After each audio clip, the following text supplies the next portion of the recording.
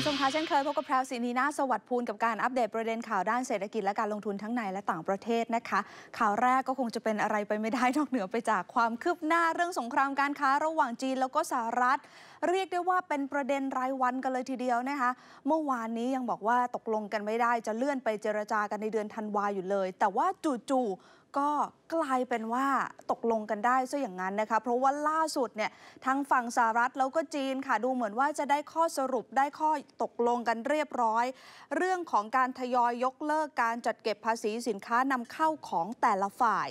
โดยเรื่องดังกล่าวก็เลยเป็นปัจจัยที่ไปหนุนหุ้นกลุ่มอุตสาหกรรม แล้วก็เทคโนโลยีในสหรัฐนะคะดีดตัวขึ้นอย่างแข็งแกร่ง เพราะว่าบริษัทยักษ์ใหญ่หลายแห่งเนี่ยก็ล้วนแล้วแต่ลงทุนในจีนด้วย ดาวโจนส์เมื่อคืนที่ผ่านมานะคะ เพิ่มขึ้นร้อยกว่าจุด แล้วก็ S&P 500 ยังคงปิดที่ระดับสูงสุดเป็นประวัติการภาวะการซื้อขายค่ะก็กลับมาคึกคักนะคะ นอกจากประเด็นเรื่องของจีนแล้วก็สหรัฐแล้วเนี่ยอีกหนึ่งเรื่องที่มันอาจจะสร้างความเชื่อมั่นให้กับนักลงทุนก็คือ มีการเปิดเผยจากกระทรวงพาณิชย์ของจีน ซึ่งเขาออกมาถแถลงเลยนะคะว่าสหรัฐและจีนได้ตกลงกันที่จะทยอยยกเลิกการจัดเก็บภาษีสินค้านำเข้าของแต่ละฝ่าย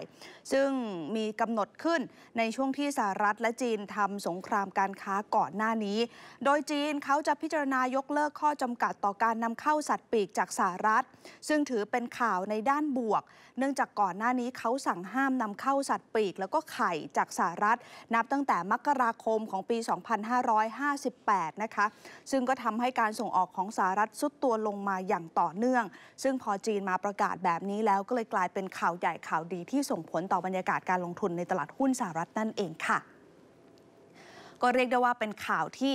อาจจะต้องอัปเดตกันเป็นรายวันเลยนะคะ วันนี้เป็นแบบนี้ก็ไม่รู้ว่าพรุ่งนี้เนี่ยจะมีอะไรเปลี่ยนแปลงหรือเปล่า มาดูกันที่เรื่องใกล้ตัวกันบ้างคุณผู้ชม ภาพรวมของเศรษฐกิจไทยปีนี้ก็อย่างที่เราทั้งรู้สึกแล้วก็ได้รับข้อมูลว่าไม่ค่อยดีสักเท่าไหร่หนึ่งสะท้อนได้จากตัวเลขเศรษฐกิจหลาย ๆ ตัวเลขนะคะหนึ่งในนั้นก็คือดัชนีความเชื่อมั่นผู้บริโภค ซึ่งพอภาวะภาพใหญ่เป็นสัญญาณที่ไม่ค่อยดี แน่นอนว่าในแง่ของผู้บริโภคเอง ก็ย่อมรู้สึกเป็นกังวล ไม่กล้านำเงินมาจับจ่ายใช้สอย เพราะไม่รู้ว่าอนาคตจะเป็นอย่างไร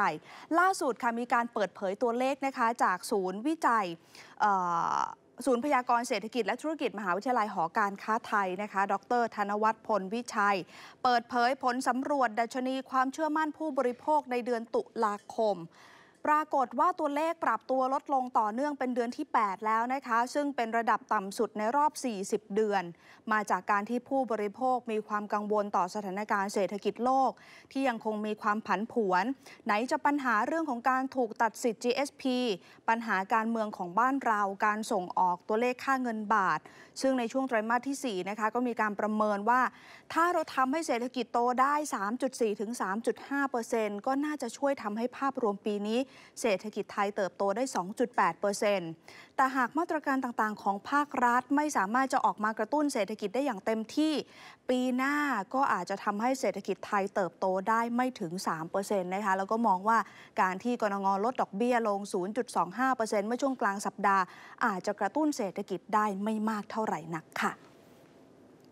อีกหนึ่งข่าวที่มีมาฝากกันนะคะ น่าจะเป็นข่าวดีสำหรับเกษตรกรในบ้านเรา เพราะว่าล่าสุดเองรัฐบาลก็พยายามที่จะมีมาตรการออกมาช่วยเหลืออย่างต่อเนื่องนะคะ รองนายกรัฐมนตรีสมคิดค่ะ ล่าสุดก็ได้สั่งการไปยังทกศนะคะ ให้เร่งเครื่องพัฒนาเกษตรแปรรูป 4.0 รองนายกรัฐมนตรีบอกว่าได้มอบหมายให้กับผู้บริหารธนาคารเพื่อการเกษตร และสหกรณ์การเกษตร ไปศึกษาแนวทางส่งเสริมภาคเกษตรกรไทย เพื่อก้าวไปสู่เกษตร 4.0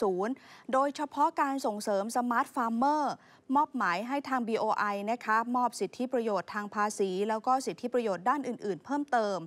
เนื่องจากภาคเกษตรของไทยเนี่ยเป็นพื้นฐานของการพัฒนาเศรษฐกิจในต่างจังหวัด จึงต้องดึงมหาวิทยาลัยเข้ามาช่วยพัฒนา แล้วก็ยกระดับภาคการเกษตร โดยมีนักลงทุนต่างชาตินะคะ เช่น บริษัทยันม่าร์ของญี่ปุ่นเนี่ยก็เริ่มเข้ามาร่วมพัฒนาเทคโนโลยีด้านการเกษตรเช่นกัน เนื่องจากปัจจุบันเนี่ยเครื่องมือทางการเกษตรของไทยยังคงมีราคาแพง ก็เลยอยากให้ทกส